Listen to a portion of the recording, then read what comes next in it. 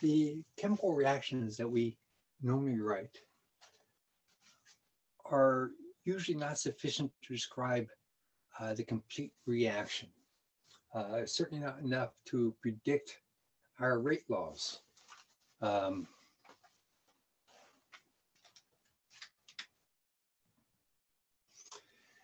these reactions usually take a series of elementary steps. This is the reaction mechanisms. These elementary steps are hard to tease out of the overall reaction. Uh, elementary steps can be measured in like femtoseconds, really quick. Um, so we need fast lasers to be able to see the, um, and fast lasers and good techniques to be able to see the individual steps in an overall reaction. Um, so we can have, uh, in this case, we're having two elementary steps that produce the overall reaction. And these elementary steps, they have to add up to the overall reaction. We'll practice that uh, later also. Uh, we can have two, three, four, five, six. There's no number, specific number of elementary steps that might be involved in a overall reaction. Uh, we might see some things uh, when we add up the reactions, we see some things that disappear and don't end up in the overall reaction. So the most common one that we might see would be an intermediate. An intermediate is formed first and then consumed. So when we add them up, it doesn't show up in the overall reaction. A different direction that we might see is a catalyst. A catalyst is consumed first, meaning it had to be present already is consumed first and then produced again. So again, it does not show up in the overall reaction. And a catalyst is a substance that speeds up the rate of a reaction. And to do that, it provides an alternative pathway that lowers the activation energy of the reaction. So uh, anytime we can lower the activation energy, we're going to speed up the reaction. So let's look at uh, next board.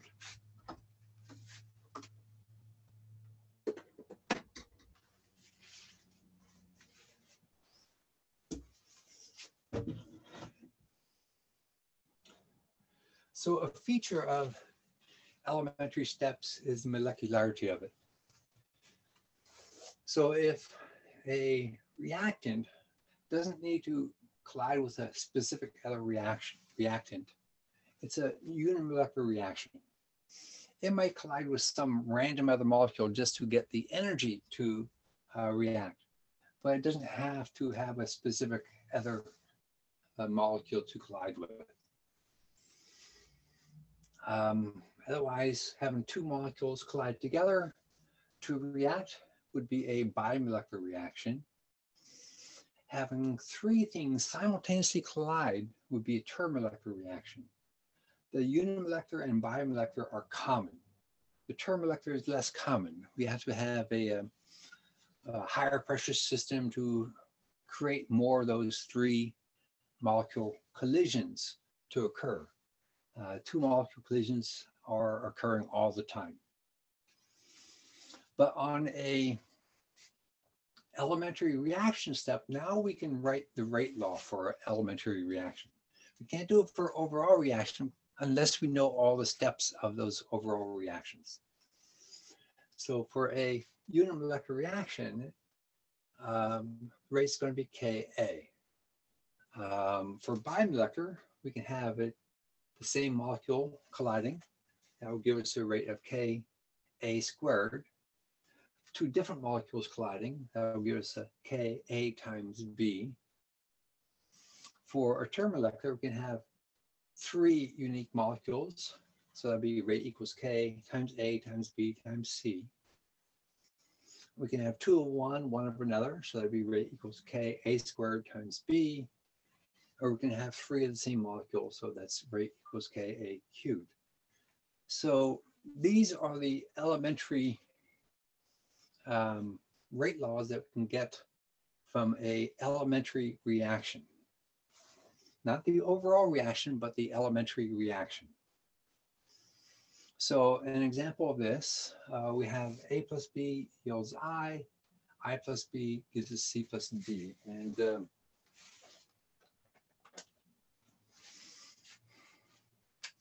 I'll do this on the next example also, but when we add these up, I don't have the overall reaction here. So when I add them up, whenever something shows up on both sides of the reaction, it gets canceled off. So we have a, a product and a reaction I, so they get canceled off. So overall reaction is uh, A plus 2B gives us C plus D.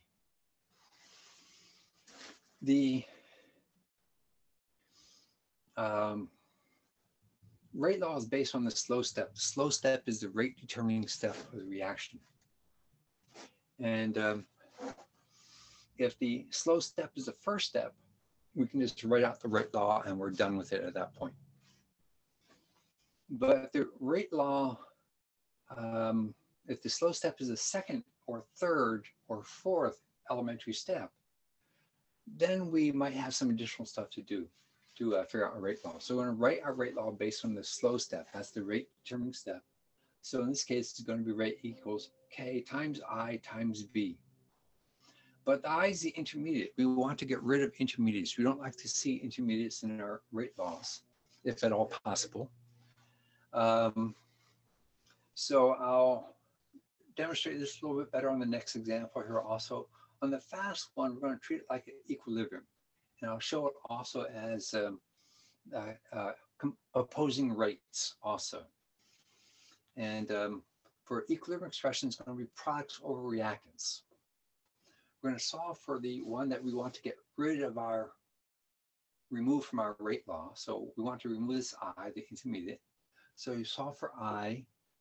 So that would be a, a constant, a equilibrium constant, constant times a times b. We're going to substitute it in for i here. So we're going to have rate equals k times k eq, eq a times b times b. So we end up with rate equals k times a times b squared. So let's do this one more time with a little bit more detail.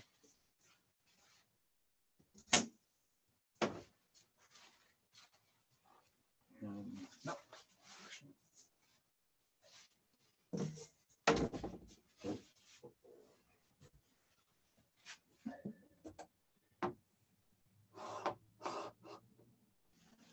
Is that in? Is in, okay.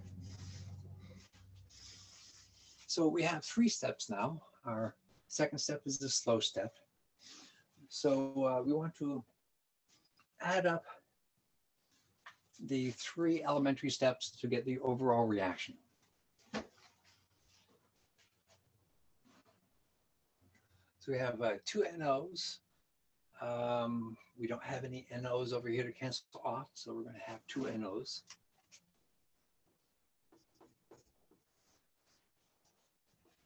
We have a H2, or we have two H2s on the reactant side. We have no H2s on the product side.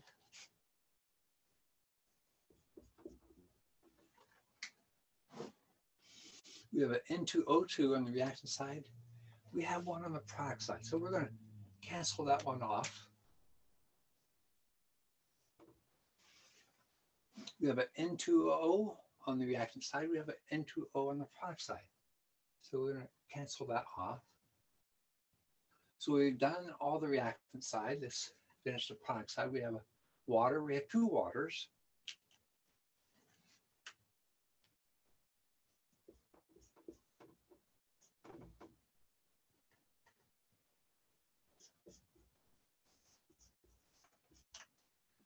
We also have an N2.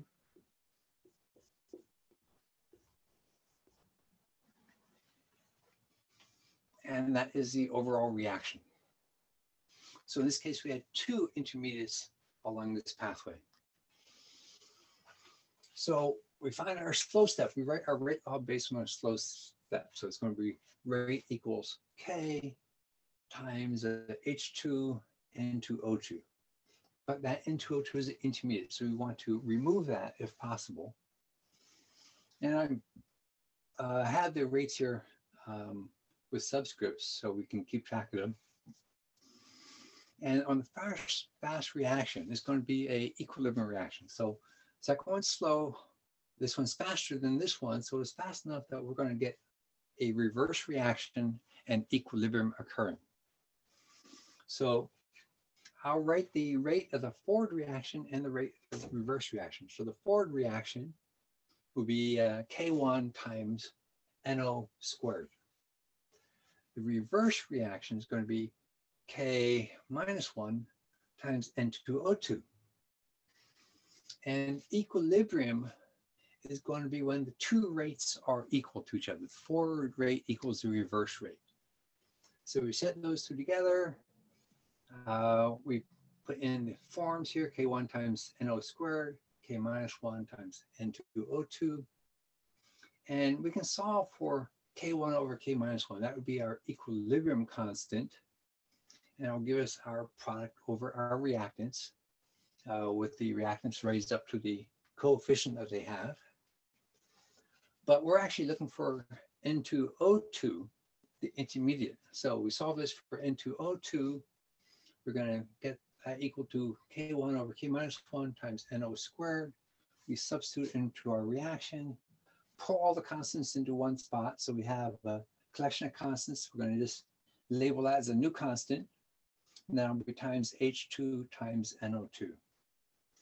So we want to be able to add up our elementary reactions to get the uh, overall reaction. And um, based on the slow reaction rate, our rate law, able be able to identify uh, intermediates uh, and um, uh, any catalysts are present. And I didn't point this out earlier. And uh, now when we have our spotter, we have our transition state. So at the height of our activation energy, that's called our transition state.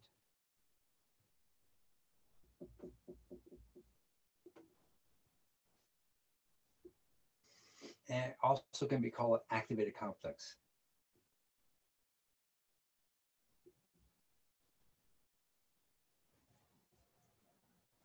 Our books using transition state, you might see other books use activated complex. Um, and if our slow step is the very first reaction, we should write our, our rate law and we're done with it. If it's our second or third, then we want to remove any intermediates that might be uh, left in that reaction. And once we get rid of the intermediates, then we have our rate law.